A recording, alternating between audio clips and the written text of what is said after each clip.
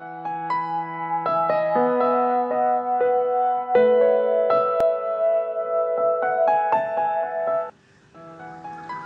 நேர்களுக்கு வணக்கம். சரஸ்வதி நமஸ்துபியம் வரதே காமரூபிணி வித்யாரம்பம் கரிஷ்யாமி சித்திர் பவதுமே சதா. சரஸ்வதி தேவியை குறித்த ஸ்லோகம். அறிவு கல்வி ஞானம் இதெல்லாம் வேண்டி நம்ம சரஸ்வதி தேவி கிட்ட ஆஹ், ஒரு விண்ணப்பம் தரக்கூடிய ஒரு ஸ்லோகம். சரஸ்வதி தேவியை வழிபடுறதுக்கு சரஸ்வதி பூஜைன்னு நம்ம கொண்டாடுறோம். அப்படி கொண்டாடும் காலத்தில் நம்ம ரொம்ப சிறப்பாக சிலதெல்லாம் கொண்டாந்து வச்சு அப்படி தான் கொண்டாடுறோம். மாவிலை தோரணம் வாழை வாழைக்கன்றுகள் வச்சு ரெண்டு பக்கம் கட்டி எல்லாம் பண்ணுவோம். கூடவே இன்னொன்றும் வைப்போம். அப்போ தான் கரும்பு வர ஆரம்பிக்கும் இல்லையா? கரும்பு வச்சு தான் கொண்டாடுவோம். இப்போ இந்த கரும்பு வந்து வேறு யாரெல்லாமோ வச்சுருக்காங்க. காமாட்சி கரும்போட தான் இருப்பாங்க. காமன் மன்மதன் கரும்போட தான் இருப்பான் அதுபோல் நமக்கு தெரிஞ்ச ஞானியர்களில் பட்டினத்தார் கரும்பனுடைய சுவையை சுவைச்சு பார்த்துக்கிட்டே தான் இருப்பார். அவருக்கு எப்போ அவருடைய சித்திக்கும் அப்படிங்கிறத கரும்பை வச்சு தான் அவர் தெரிஞ்சுக்கிட்டார். யானை கூட கரும்பை விரும்பி சாப்பிடும். நம்மளுக்கு தெரிஞ்ச ஒரு நல்ல சக்தி வாய்ந்த வெஜிடேரியன் யாருன்னு கேட்டால் யானை தான். நிறைய அசைவ பிரியர்கள் எல்லாம் என்ன சொல்லுவாங்கன்னா அதை விட சக்தியானது எதுவுமே கிடையாதுன்னு சொல்லுவாங்க. ஆனால் அப்படி சாப்பிடக்கூடிய யானை கூட தோற்று போகக்கூடிய ஒரு சக்தி வந்து நம்மக்கிட்ட யானை கிட்ட இருக்கு. அதனால் சைவம் சாப்பிட்றதுனுடைய மு மு- முக்கியத்துவத்தையும் நம்ம இந்த இடத்துல தெரிஞ்சுக்கலாம். இப்போ கரும்பு வந்து எவ்வளவு ஏற்றமுடையது அப்படிங்கிறது இன்னைக்கு கரும்பு பற்றி தான் நம்ம பார்க்க போகிறோம் கரும்பு வந்து ஒரு நேச்சுரல் கூல் ட்ரிங்க் அப்படின்னு நம்ம வச்சுக்கலாம். நம்மளுக்கு அந்த பேரில் கேட்டால் தானே மகிழ்ச்சியாக இருக்குது அப்படியே பழகிட்டோம் எல்லாமே. கண்ணுக்கு முன்னாடி தெரியறதெல்லாம் நம்ம கண்ணுக்கு முன்னாடி வளர்ந்து கிடைக்கக்கூடியதை நம்ம மதிக்கிறது இல்லை எங்கோ இருந்து யாரோ ஒருத்தர் எதையோ கொண்டாந்து கொடுத்தா அதை நம்ம மதி மதிக்கிறோம். அப்படித்தான் நம்ம உறவுகளுக்கு மத்தியிலையும் சரி நட்புக்கு மத்தியிலையும் சரி நம்மளுடைய அன்றாட வாழ்க்கையிலும் சரி எல்லா விஷயத்தையுமே நம்ம பக்கத்தில் இருக்கிற கண்ணுக்கு முன்னாடி இருக்கிறதுக்கு நம்ம மரியாதை கொடுக்கறதே கிடையாது. எங்கேயோ இருக்கிற நமக்கு சம்பந்தமே அல்லாத ஒன்று நிறத்தால் இல்லை ஏதோ ஒரு வகையில் நம்மளை வசீகரிக்கக்கூடியதுக்கு மேலே தான் நம்ம மரியாதை கொடுக்குறோம். அது மிகவும் தவறான ஒரு செயல்பாடாகும். இந்த கரும்பு வந்து நம்மளுக்கு எந்தளவுக்கு எந்த அளவுக்கு நன்மை தரக்கூடியது அப்படின்னு பார்த்தீங்கன்னா உடம்புல நிறைய சக்தியை தரக்கூடியது.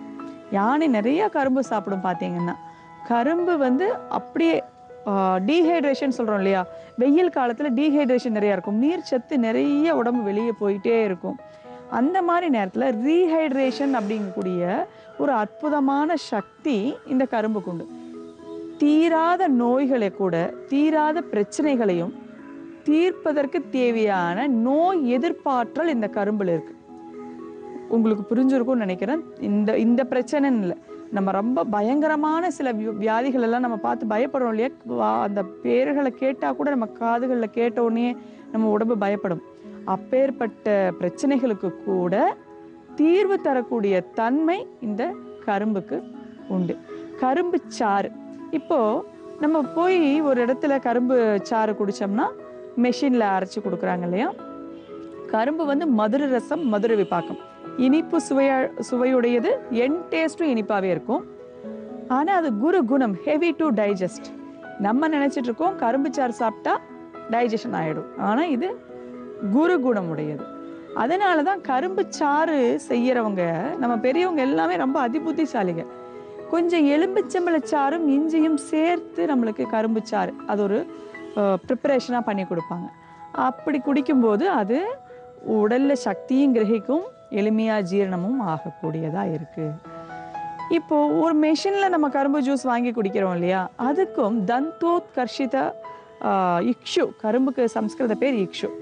அந்த இக்ஷுவை கரும்பை பல்லில் கடித்து சாப்பிட்றதுக்கு என்ன வித்தியாசம் அப்படின்னு பார்த்தீங்கன்னா பல்லில் கடித்து சாப்பிடக்கூடிய கரும்பு நம்மளுக்கு உஷ்ணம் அதிகமாக இருக்காது. ஆனால் மெஷினில் அரைச்சி நம்ம கரும்பு ஜூஸாக சாப்பிட்றோம்ல அதுக்கு உஷ்ணம் அதிகம். அதனால் நம்ம என்ன பண்ணணும்? கொஞ்சம் பல்லில் கடிச்சு சாப்பிட பழகணும். ஸோ கரும்பு சாப்பிடும்போது மனதில் மகிழ்ச்சி ஏற்படும். அது இனிப்பு சுவை இயற்கையிலேயே உடையது மன மகிழ்ச்சியை தரக்கூடியது. அதனால் கரும்பு வந்து மன சம்பந்தப்பட்ட பிரச்சனைகளுக்கு உண்டு. இப்போ இந்த கரும்பில் ஒரு ஸ்பூன் சர்க்கரை இந்த க என்ன வந்ததுன்னா லெவன் கலோரிஸ் கொடுக்குது கரும்புலேருந்து நம்மளுக்கு என்னென்ன கிடைக்குது? கரும்பு சாறை நல்லா காய்ச்சும் போது மண்டை வெல்லம் வெல்லம் குடம்னு சொல்லுவோம். அப்புறம் சர்க்கரை. இதுக்கிடையில் கற்கண்டு. இது எல்லாமே கரும்புலேருந்து கிடைக்கக்கூடியது. கரும்புலேருந்து கிடைக்கக்கூடிய மண்டை வெல்லம் வெல்லம் எல்லாம் வந்து நம்மளுக்கு ரொம்ப ஆற்றல் மிகுந்தது. இதுகளெல்லாம் வந்து நீங்கள் ஆயுர்வேத மருத்துவ முறையில் ஆயிராயிரம் ஆண்டுகளுக்கு முன்னாடியே பல்லாயிரம் ஆண்டுகளுக்கு முன்னாடி இருந்தே அரிஷ்டம் ஆசவம் லேகியம் எல்லா ப்ரிப்ரேஷன்லையும் பார்த்தீங்கன்னா வெள்ளம் இருக்கும். நம்மளுக்கு கரும்புச்சா அந்த மண்டை வெல்லம் ச- கற்கண்டு இதெல்லாம் பிரயோகப்படுத்தியிருப்போம். ஸோ இது வந்து பல்லாயிரம் வருடங்களாக நம்ம இந்த கரும்பை பிரயோகப்படுத்திட்டு இருக்கோம் அதனால் இந்த ஒவ்வொரு ப்ரிப்பரேஷன்லையும் ஒவ்வொரு முறையிலையும் ஒவ்வொரு வகையான சக்திகள் இருக்குது அது எல்லாமே நம்மளுக்கு ஏற்ற முடியுது அஸ்கா சர்க்கரை நம்ம இப்போ எடுத்துக்கிறோம் இல்லையா? அது வந்து வெள்ளையா நம்ம வேணும். நம்ம புறத்தோற்றம் விரும்புறதுனால வெள்ளையா வேணும் வேணும்னு நினைச்சு கலரா கிளீனா நீட்டா அப்படின்னு எல்லாம் பார்த்து என்ன ஆயிடுச்சுன்னா கெமிக்கல்ஸ் அதிகமாக சேர்த்துருக்காங்க. அதனால நம்மளுக்கு நிறைய பிரச்சனைகள் வருது. உடம்புல குழந்தைகளுக்கு நோய் எதிர்ப்பாற்றல் குறைஞ்சிருச்சு. தேவையில்லாத நிறைய பிரச்சனைகள் வருது. வயிற்று வயிறெல்லாம் சுத்தமாக கெட்டு போயிடுச்சு எல்லாருக்குமே. அதனால கரும்பு சர்க்கரை அதே நிறத்துல இருந்தா பரவாயில்ல. நம்மளுடைய பாலோட கலர் கொஞ்சம் மாறி இருக்கும். பரவாயில்ல நம்ம நிறம் கருப்பர்கள் தானே. சொல்ல போனா அந்த நிறத்துல நம்ம சாப்பிட்டா ஒன்றும் தப்பு இல்லை. நம்ம எதுவோ அதுவாகவே இருக்கிற வரைக்கும் நம்மளுக்கு எந்த பிரச்சனையுமே வராது. அதனால கரும்பு வெல்லமா எடுத்துக்கோங்க கரும்பு சர்க்கரையா எடுத்துக்கோங்க. கரும்பினுடைய எல்லா ஆற்றல்களையும் நீங்க இந்த வெயில் காலமான காலத்துல கரும்பு சாறு கரும்பா அப்படியே கடிச்சு சாப்பிட்றதெல்லாம் சாப்பிடும்போது உடல் ஆரோக்கியமும் நிறைய இரும்பு சத்தும் நமக்கு வந்து சேரும்.